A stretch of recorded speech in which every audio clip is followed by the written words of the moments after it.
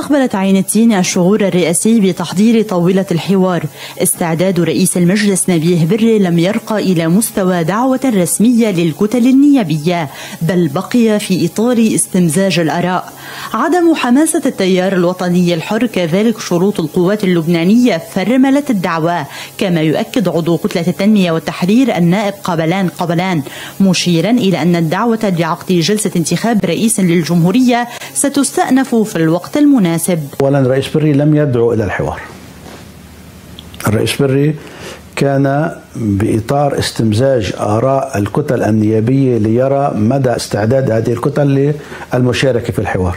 عندما رأى أن الكتلتين الرئيسيتين غير مستعدتين للمساهمة في أو للمشاركة في الحوار صرف النظر لم يدعو إلى لا بالتأكيد ما راح يتعطل الدعوة إلى انتخاب رئيس جمهورية راح يصير في دعوات الأسبوع خلص. ممكن الأسبوع القادم يكون في في دعوة إلى انتخاب.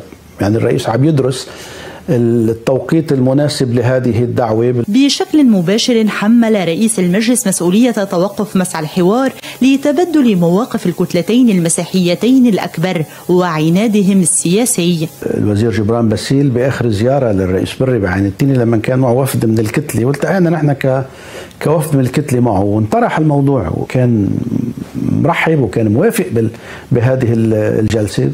بعدين آه، تغير. هذه ليست انتقاص من من حق رئيس الجمهورية وصارت سابقا انعملت سابقا وحضر الرئيس عون شخصيا. كان بعده مش مش رئيس الجمهورية حضر بعين التيني بالحوار مع كل القوى والممثلين الكتل السياسية والنيابية هذاك الحوار لأنه كان عم ينعمل بيوصل توصلوا فيه على رئاسة الجمهورية كنتم موافقين.